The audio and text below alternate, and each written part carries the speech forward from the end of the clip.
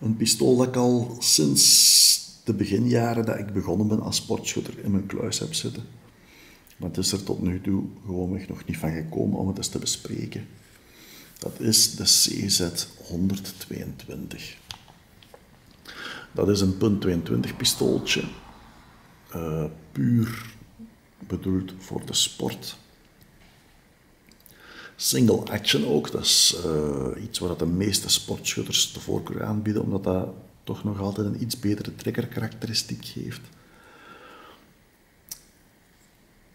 Lange loop, 6 inch. Voordeel van een lange loop is hoofdzakelijk dat je een lange vizierlijn krijgt, dus veel afstand tussen je korrel vooraan en je cape achteraan. Dat maakt, als je ermee gaat mikken, dat je bepaalde kleine foutjes in je uh, mikkunsten sneller gaat opmerken en liefst nog voordat je je schot hebt gelost. Het is een pistool dat al dat nimmer gemaakt wordt. Het is, uh, ze zijn de productie begonnen in 1997. En ik heb geen eendjaar kunnen vinden van wanneer het van de markt verdwenen is. Uh, maar ik denk niet dat het tien jaar aan een stuk geproduceerd geweest is. Zelf heb ik dit pistool gekocht in 2005 voor om en bij de 300 euro. En voor dat geld is dit echt wel een heel fijn pistool. Accuratesse is uh, goed, zeker voor die prijsklasse, zeer goed. Natuurlijk, als je het gaat vergelijken met veel duurdere pistolen, die echt super mega uh, sportpistolen zijn, dan gaat het natuurlijk afgedroogd worden. Maar ik schiet hier toch groepjes mee van, ik dacht om en bij de 6, 7 centimeter op 25 meter. Er zit ook een hele fijne trekker op, althans volgens mijn uh, inzichten. Ik heb een pufferpatroontje erin zitten, dus een namaak aluminium uh, patroontje. Puur om de slagpunt op te vangen als ik zelfs de trekker eens ga overhalen. Doe dat altijd als je met punt 22 pistool of geweer zonder te schieten de trekker wilt overhalen. Want je gaat de levensduur van je slagpunt ernstig kunnen verkorten als je dat niet doet. Het is randvuur. Je slagpunt zou, als er geen patroon in zit, los op de staalharde kant van de kamer knallen.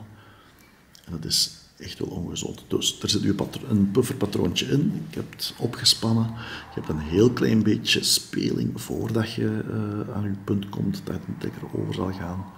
Dan is het echt maar een heel klein stukje nummer drukken en krek. Het is een, uh, ja, er zal waarschijnlijk een wetenschappelijke naam voor bestaan. Ik noem het een, lekker krokante trekker die een heel mooi breekpunt heeft.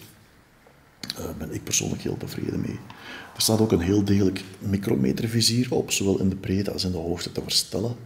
Dat vizier is uh, afkomstig van de firma LPA. Ik denk zelfs dat er nog ergens op staat. Hier, LPA. LPA is een, uh, hoog aangeschreven viziermaker, ik dacht Italiaans. Het design ervan. Sommige mensen vinden hem fantastisch mooi, andere mensen vinden het zomaar. Ik vind dat het allebei wat heeft. De, de twee kleuren, dat, is, dat heeft wel iets. Wat dat me vooral stoort, is dat je je greep, je stopt hier al. En je hebt nog een gigantisch hoge bovenbouw, dus boven je, hand. Bij de meeste pistolen, zeker sportpistolen, gaan ze proberen de loop zo laag mogelijk uh, te, plaatsen opzichte van de hand. Nu binnen die kas loopt de loop nog wel redelijk laag. Maar toch, dat had, uh, ja, het stoort mij dat je je pistool dat zo hoog boven je hand bovenuit torent. Als je dat bijvoorbeeld vergelijkt met een glokpistooltje, en we leggen de grepen gelijk en we gaan ze dan naast elkaar houden, dan zie je, wacht, hè, zo is dan ongeveer de bieverteels gelijk. Dan zie je dat die CZ122 links dat die bijna eens zo hoog zit dan de glok. Dus de afstand tussen de bovenkant van het vizier en de bovenkant van de greep. Dat is bij die CZ122 groot. Dat stoort mij. Dat is het enige dat me eigenlijk stoort. Uh, eventueel, als we willen gaan bekijken van negatieve dingen, uh, een mogelijk negatief ding is de sledevangpal. Dat is dit palkje hier, dat bij het laatste schot blijft die slee openstaan. Ik ga even de camera neerzetten, want ik heb mijn twee handen nodig en dan zal ik hem voor u openzetten.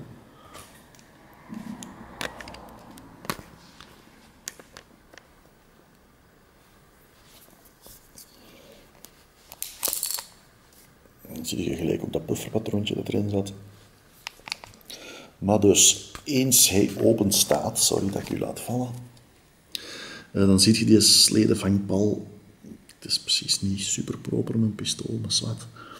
Uh, dat staafje dat er bovenop staat, dat is zo iets, iets precies achteraf eraan bedacht. Zo. Dat komt redelijk fragiel over. Pas op, het werkt altijd. Uh, dus dat vlak kan ik niet echt erover beginnen zeuren. Maar toch, het, uh,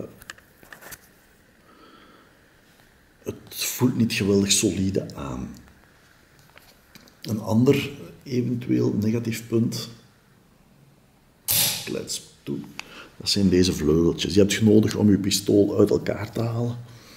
Uh, in de oorspronkelijke opstelling waren dat plastieke vleugeltjes, die lopen er aan de andere kant ook door.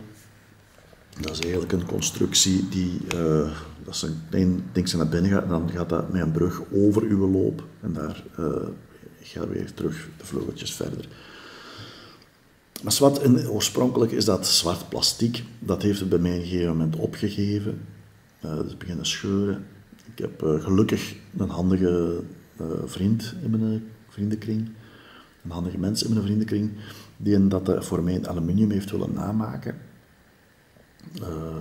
Maar toch spelen dat dat in plastic geweest is. Eventueel ander negatief punt, als we echt willen gaan doormekkeren, dat is een redelijk kleine greep. Je moet al fatsoenlijke kolenscheppen van handen hebben als hem echt uh, storend te klein wordt. Maar ik heb mijn gemiddelde handen en ik heb nog een, aan de palmkant een klein stukje hand dat er onderuit steekt.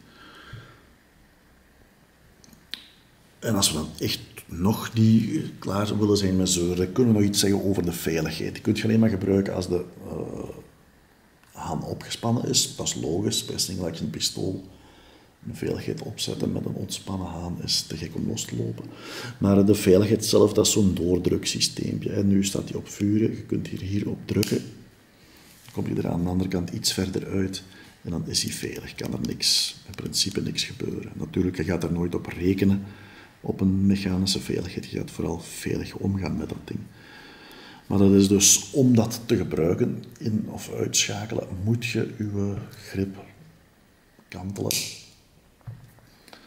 Uh, dus echt praktisch is dat niet, maar anderzijds bij een dergelijk pistool als dit het toch alleen maar bedoeld is om te gebruiken op een schietbaan onder de gecontroleerde omstandigheden vandaar en daar ga je 9 van de 10 die veiligheidspal toch niet gebruiken. Uiteenname van dit pistool is niet heel moeilijk. Punt 22 pistool hebben wel eens een neiging om uh, een stuk omslachtiger te zijn in uiteenname dan gewone grote mensenpistolen.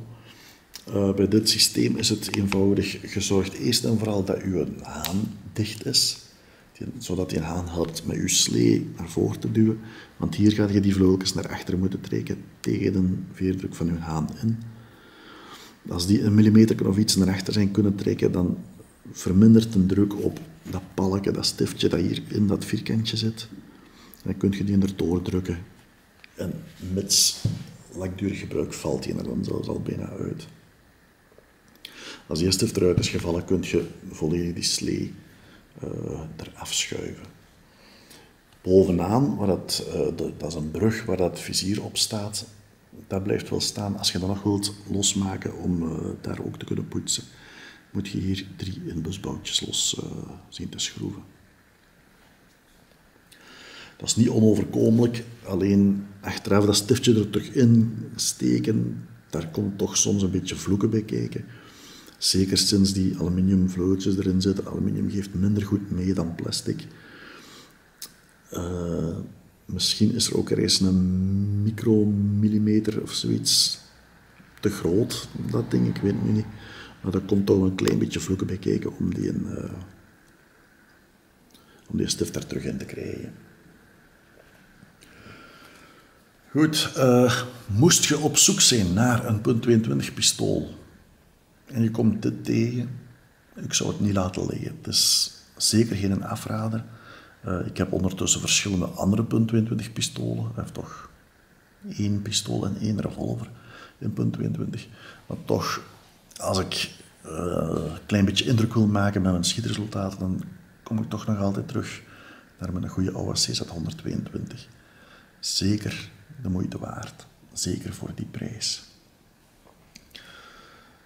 Ik hoop dat dat een beetje interessant was. Er is op het internet maar heel erg weinig te vinden over dit type pistool. Onder andere ook waarschijnlijk omdat het maar zo kort op de markt geweest is. Hopelijk heb ik er hiermee een kleine bijdrage aan kunnen leveren. Zeker geen afrader. Bedankt voor het kijken. Doei.